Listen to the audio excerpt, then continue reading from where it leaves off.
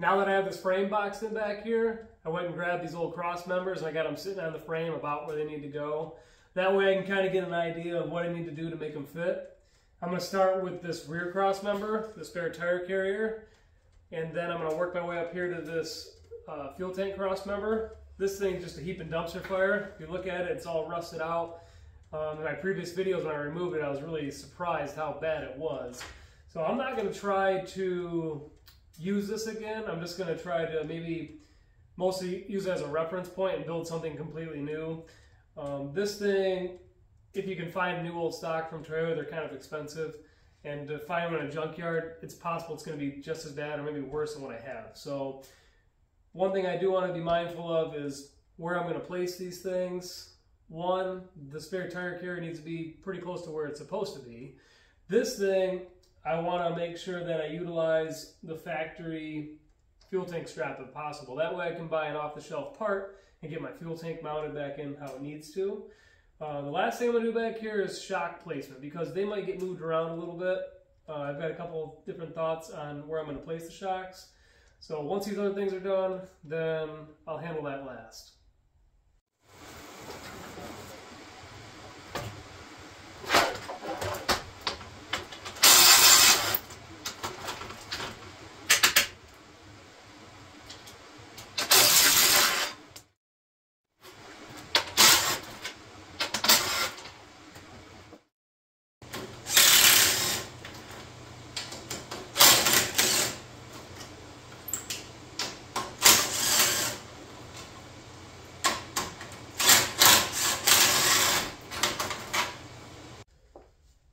Now that I got all those extra pieces off of this cross member, it's going to be a lot easier to work with. As I took this truck apart, I used my tape measure and I went around all different points on this frame and I wrote down a ton of different measurements so that if something went sideways, I could hopefully try to correct it. And also when I got to this point where I was putting pieces back on, I want to know where they need to be so that it'll work. Um, this one lines up with these holes. That's why I didn't fill these these holes right here line up with these holes right here. And I made a note of that. So what I did before anything is I just quickly set my laser up so it's going straight down these holes. And then I can pick this up because now that they're being blocked, I can't quite see them. But I can line this up as well with the laser since now everything's in line. And if I if I need to or needed to, I can trace this line so I have a center line down this um, frame member here. And I think I'm going to do that because once I drop it down in here, it'll be a little bit easier for me just to, you know, run the um, laser down it so I can get this thing right where it needs to be. So I'm just going to, real quick, my laser's actually getting a little weak. I have to get some new batteries in it. I'm just trying to get it Actually, I don't really need to go down the whole thing. It's really all I need to do about right here so I can line the end up. But yeah, so that's one little trick I got. Um, the other thing I did too was I flipped this over, right? Because these holes, since they line up with those holes, I'm not going to get crazy and put like a, a dowel in there or anything, but I could if I wanted to. I'm to eyeball this hole and get that lined up. Do the same on this side. Me turn this off. I don't need this laser there anymore. I'll line this side up as well to that hole. And what I need to do is shorten this thing down so that it'll fit down between the frame. I've got about 36 and a half inches here. The top span that I measured was about 40. So I got about inch and three quarter I got to pull off each side, plus maybe a little extra just so it's not a press fit. I want to be able to get this thing in and out pretty easily so the marks that you saw in here was just me doing this. I ran my Sharpie right along the inside of the frame as a guide, and I made these lines. So that's what these lines are. These are my cut lines. I want to be able to cut that straight through, but I can't really, um, I don't have a chop saw or anything else. I can just do a completely straight cut. I'm going to use my cutoff wheel. So I need to, oh, I'd like to get a, a straight line all the way down through here. So I'm going to try to use my laser for that. On both sides, I'm going to try to set this up. And then I'll cut each of these down and put it between the frame and kind of see how it looks.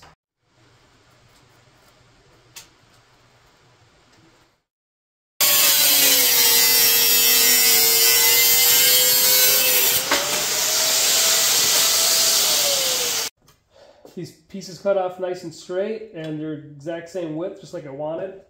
So they would have been just like that. A couple things to take note. These holes were the center holes that lined up with these on the frame. That's the reason that I extended these lines just a little bit so that once I cut these off, I can come back and realign this. Um, another thing to look at is how they had captive nuts on the backside. So that would have bolted through the top of the frame rail into this cross member on both sides, top and bottom. See, there's the bottom nuts. Um, I would like to do something similar because I want to make it removable. So get these things out of the way. So right now, uh, I've just got a couple of magnets down here and a little shim just to kind of get this close to the top of the rail. Um, another little trick I was using is just to take this piece of string I had laying around my garage, kind of doing the old chalk line trick here, and I can span the center line of these uh, frame holes, since those are how I'm lining this up, and I can line that up to my, my Sharpie marks and get that thing right where it needs to be. So now what I can do is make a little template so I can cut out a plate that I can weld to the top of this rail. And when I do that, I can drill two holes through it, straight through the upper cross member on both sides, and then I'll add some captive nuts so that I can bolt it on just like the it did from the factory. I'll do something similar on the bottom. I really want to make this thing removable for whatever reason, just in case I need to get it out of here.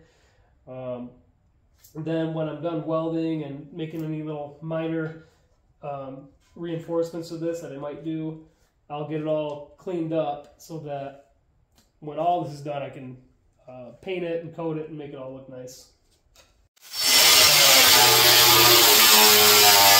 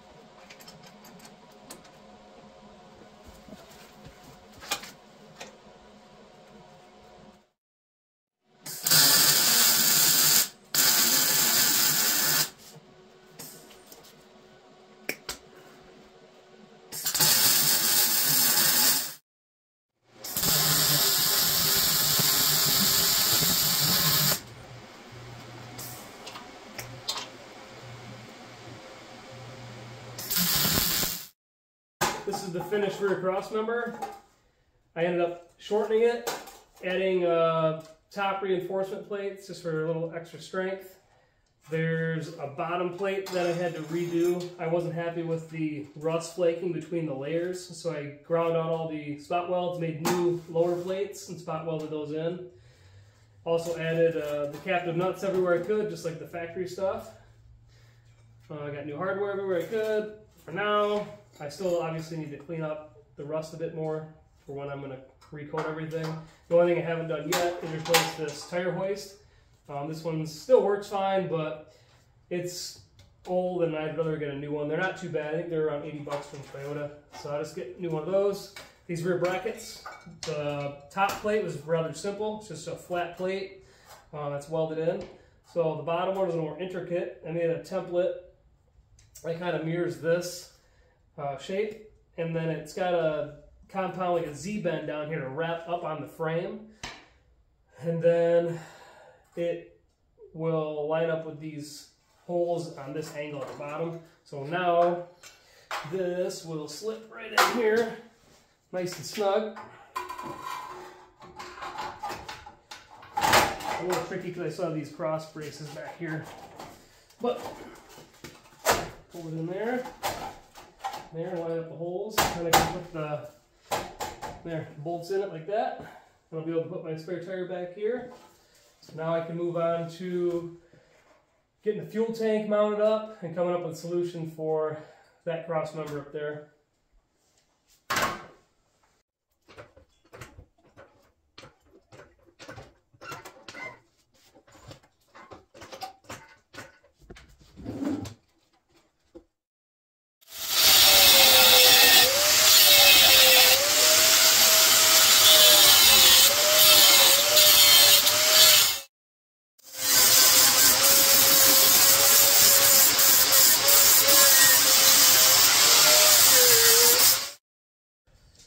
Time's a charm. I got that temporary brace out of the way. I'm really not worried about having it in here at this point since the frame's been boxed in. It's a lot sturdier. I also have the rear cross member and these other two temporaries in, so the frame's really not moving anywhere. Um, I did dig out the old rusty fuel tank cross member here. I think what I'm to end up doing is cutting it down a little bit just so I can kind of see where it wants to be. And then maybe I can get an idea of the, the contours of the tank and how the strap needs to mount and come up with a new cross member. But before I do any of that, this truck hasn't ran in months and I really want to start it up. So now the tank's in place. I got the forward flange is bolted under here. There's another cross member, of course, that's holding it. Back here, I don't have this in place yet to hold the tank on a strap, so I do have a jack stand with a, a block of wood holding the tank pretty level. I'm to go ahead and um, uncap these lines here. I got my fuel feed and return. I want to snap these in real quick. Shouldn't take much.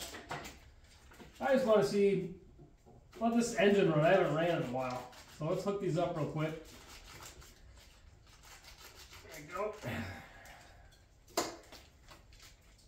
Everything was capped off, trying to keep it all clean, so that's always nice. Okay, snap down. We get our fuel pump,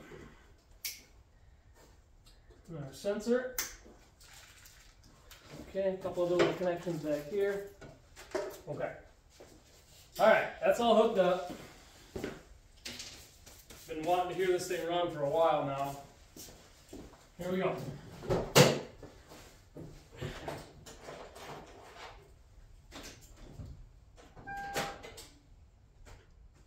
Come on, Toyota.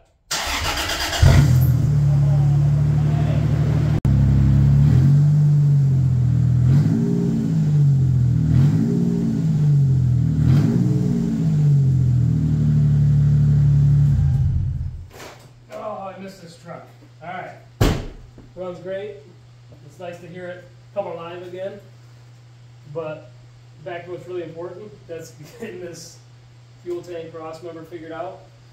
So like I said, I'm going to start by taking maybe a couple inches off either side, like I had to do back here with this rear cross member, so that it can nestle down in here.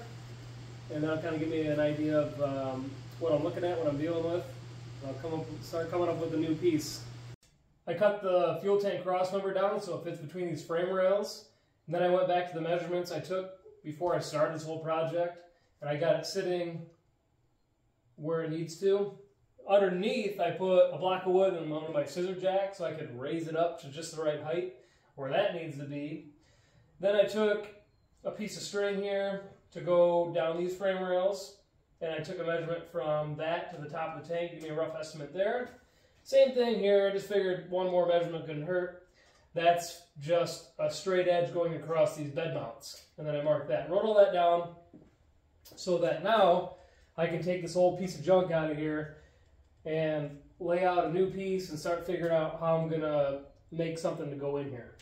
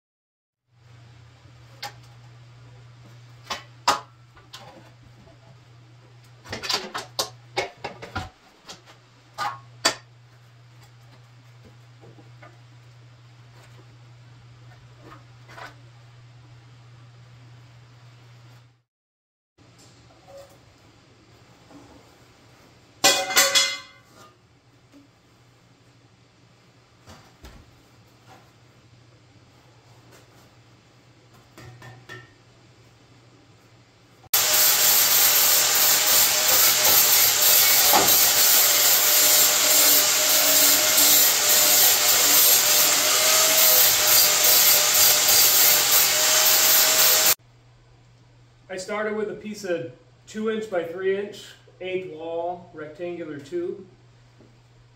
I cut the length down, being mindful that I wanted to put a plate in here, so there's room at the end for that. The plate that I'm going to put in there not only is going to help reinforce the end of the tube, but it's going to span the gap, the butt joint where these frame caps are. That's going to act as like a fish plate to cover that area. So it's going to be a multifunctional piece. This notch was a little tricky. Ended up making uh, two templates because there are two different profiled curves that are stamped into this original one that form around the tank. So I made a template for the front and the back. And then I traced those on here and did my best to cut and grind those out. They turned out really nice. I've got a little bit of a gap in here yet because I want to take another piece of plate and I want to form it so that it fits inside of that notch to give some extra support where it touches this fuel tank insulator piece and then that also close off this tube again. Now one other thing I have to do is get this fuel tank strap to mount up. The original one, being a stamped part, is hollow in the middle. This just went through and pinned, done. Now I could do something like that. I could uh, notch a little hole in the bottom. This could go up inside, I could drill it and pin it and be done with it. I don't really like that because it would just, just be this hole right in the center of the tube. So as much as I don't want to modify a factory Fuel tank strap, I think I'm just going to end up doing it. I mean, how often do you have to change fuel tank straps, right? So I'll just make a tab down lower in this area and then it'll have a place to pin it through down here. And that'll just be a cleaner look and that'll be the last thing I got to do to get this in here.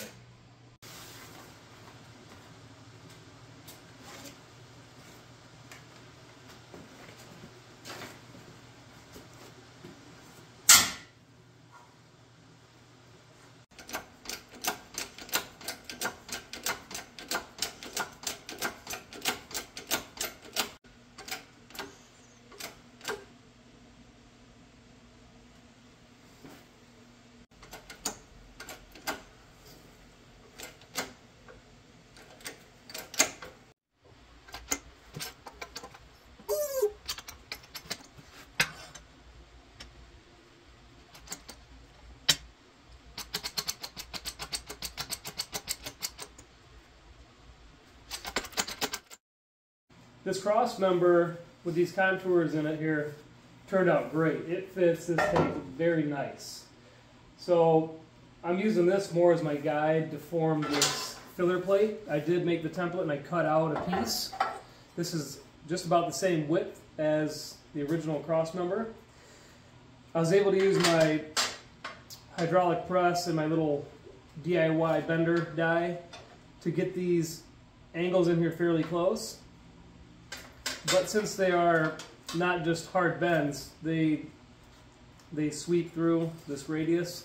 I actually ended up doing a couple one way and a couple to match that angle. And then just kind of did a couple light taps with a mallet. It got it really close.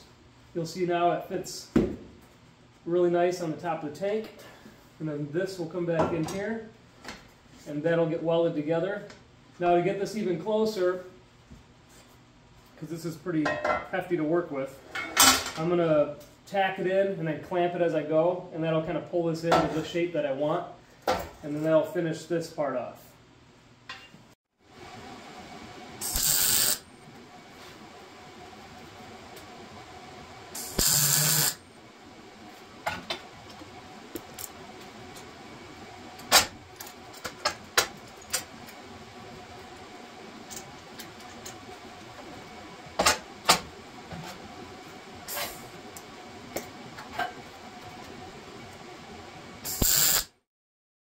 This thing came out really nice. I'm happy with this. I got it all welded in, came back and touched off those real quick with the grinder. It's just to smooth them out. I've got measurements on where this thing is sitting now, where it's happy. So I went ahead and made this fish plate template so that I can cut these out. These are my plates. To get those in there, I gotta get this out of here and the fuel tank for multiple reasons. One, I need the room. Two, I really don't want to catch it on fire. So this thing's going to get set out of the way so I got uh, room to work. I'll get these plates welded in and then I will fit this back in uh, based on my measurements so that I can tack it. I'll check it one more time in the tank and then I'll weld it in and it'll be done.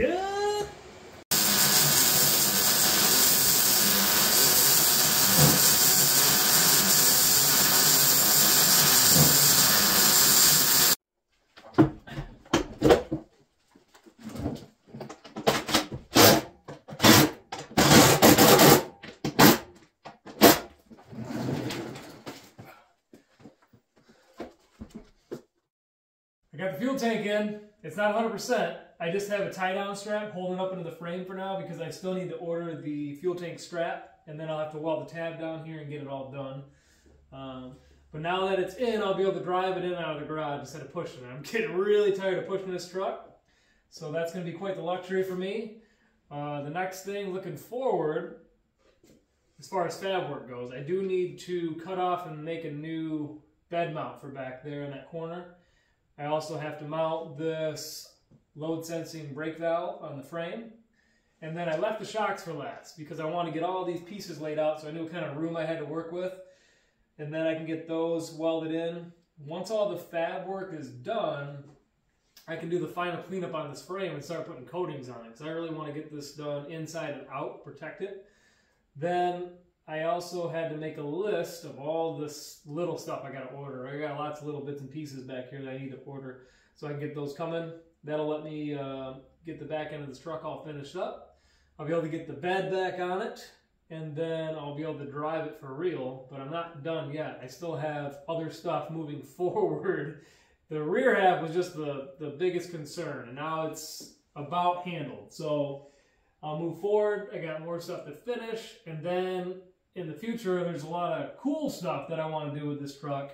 Cooler stuff, anyway. Cool to me. Maybe not cool to, to everybody watching, but yeah, that's going to be coming up in the future. So just stay tuned for that, and we'll see how this all turns out.